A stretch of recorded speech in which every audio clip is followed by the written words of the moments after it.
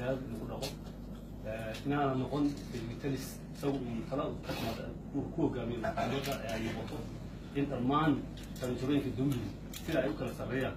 ay midooba shaqadiisa ugu madax banaanaan taasoo keeni karta ayna shaqs u mid dadkao dhan ay talinayaan taas waxay badbaadinaysaa aniga badbaadinaysaa inaan khaladaad gelin idinkana badbaadinaysaa marka ugu horreyn kolle waxyaabaa ii qoordaysna oo ahaa un qoqdolisaanka kow in horta wax laga qabto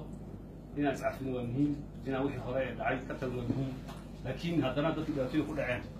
inay iyaguna dareemaan inay ka mid yihiin bulshadina iyaguna waa muhiim taa macnaheedu waxaa weeye iyagoo oo kuwii dhirta geystay la dhibaatay kuwii dhirta ku dhacday wax loo qabto oo maaragtay si ay bulshada ula sinaadaan kaloo xooga saari doonaa xoriyatu qowlka anigu dadka aad u qoraan ahaan jiray qowlka iyo jecel. Maanta marka inaan gruubkii noocaas ahaa aan aan xorriyaddooda u sii kordhiyo ayaan diyaar u ahay. Qof kasta. Innagu waxyaalaha weliba u naqaan baa jira laakiin dunida kale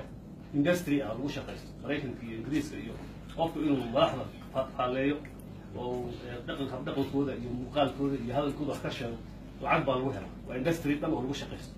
innaga xaggeena waxaa la yahay dacaayad baa layaa waa la isxidhaa aniga dacaayadta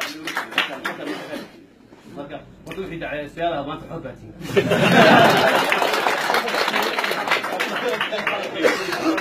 waxaa rabta markaan kartaan laba qodob baan la ogolayn oo sida qawaaniinta adduunka iyo waddankaba ah in qabaayil la isku dhufto oo reer hebel ka kac oo reer hebel laa la yidhaah waa la odhan karaa reer baa waxbadsaday waa la waxaas dhib male waa la odhan karaa mustafa meesha yimid oo waxaa yaacaya reerkoodii reerkoodii soo baxay waxaas dhib male laakiin reer hebel oo reer hebel ku duul incitement baa la iyadu waa qalad waxaa kaloo qalad wixii diinta iyo akhlaaqda ay diidayso sawirro qaawan afnagaato cay noocaas waa reeban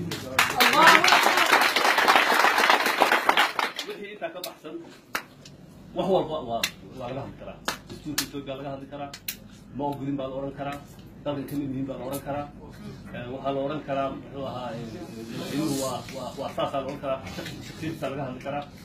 qofkii ay dambidiisu gaarsiiyo inuu dhaafo waxaa ku saabsan madaxweynaha iyo saaxiibadii iyo wasiirada isaga u taalla bulshada kaaga qabato dowladda u xakaman mayso bulshadaa qabanaysa laakiin dowladdu ma odhanayso sharafta madaxweynaha ku xadgudubtay afrikaanka inta isku xidha waxaas. Marka madaxweynuhu dadku la yahay haddii adiga wax lagaa sheego maxamadaysa waa la karaa. Taa horta inaad ogaataan dacaayadana adigaa idin bilaabaya waxaan laga marnayaa inay hilib haysto marna in cabsir dadkii aan cagaha lahayn indhaha lahayn awyo wadan